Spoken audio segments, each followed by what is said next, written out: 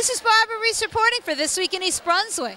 Come join us for a special evening here at Memorial Elementary School, a family STEM night.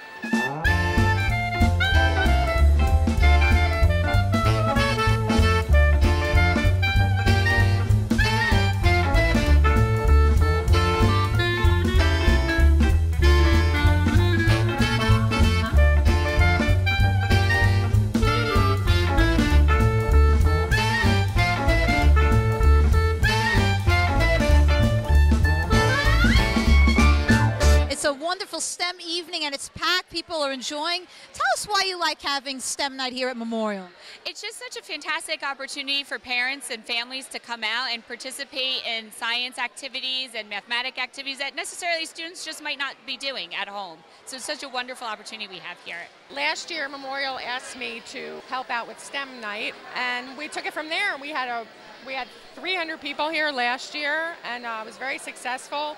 Um, a lot of parent involvement. Um, it's about getting families together and um, teaching families to work with their kids and you know get them involved in education and um, it, it was successful so this year we're on our third school here uh, in east brunswick and uh, we hope to spread the spread stem all over town Well, last uh, year, uh, my daughter, who's on the PTA, uh, asked if maybe we could do something to help generate more parent participation. And so we picked a STEM project because I have a lot of experience. My partner's here, and he was Technology Educator of the Year. And so what happens, we put this event on last year.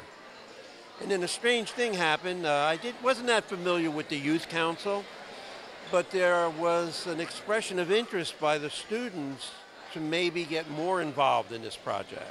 I understand the Youth Council had a part in planning this special STEM evening. Could you tell us a little bit more about that? The East Brunswick Youth Council has a subcommittee called the STEM Leadership Team, and they've been working together for actually a few months now, and they've been training and trying to build upon what Howie Herbert actually initially developed um, to kind of make it their own and um, come up with new ideas to, and you know, innovative ways to maybe advance some of the item, you know, I guess activities he came up with.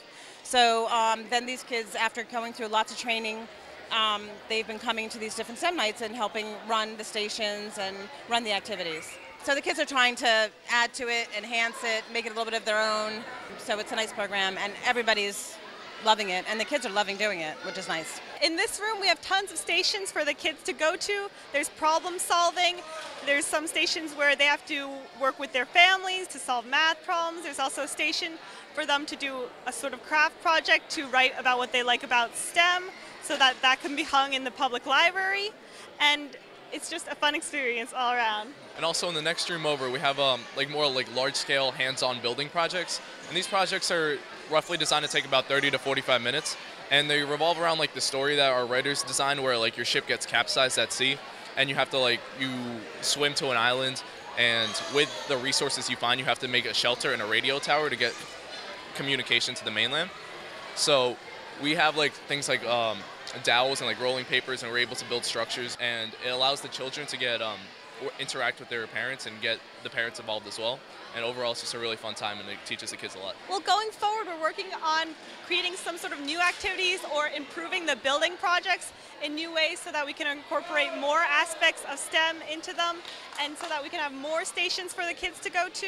And we're working on developing new activities with the rest of the team.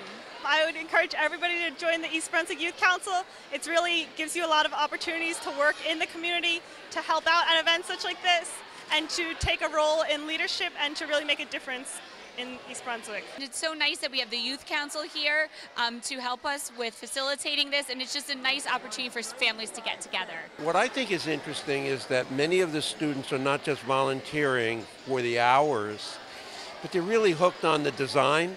So they're starting to really take some ideas of their own and develop them. And that's really uh, what I'm proud of, that they're off off on their own. I like that there was this game where you could draw on a whiteboard and you would have to try to get the balls bouncing into a number. It's really fun and exciting and you can learn a lot. I really enjoyed all the challenges that are placed for our students. at Memorial Elementary School. I think it's very good. Actually, I like how it tests the kids and it makes them apply facts that they learn in school. So I think it's it's really good. And I'm glad I see a little table over there on fractions and you know to test the kids in multi levels of difficulty. So it's really good. And I think it just makes the kids very excited about math and science and just learning. Well, I like going around to each stations. I love STEM because I love science. And so there's a lot of math here, and there's a lot of science, technology, and a lot of art. I'm pleased to be part of it, but clearly it's important to recognize that this is a an organization that started through the rec department who sponsor these students and that's why we're here tonight. This is Barbara Reese reporting for This Week in East Brunswick. Hope you enjoyed being here with us this evening for Memorial School PTA STEM Night. It was a lot of fun for us all and a great learning experience, and we hope you'll join us next year.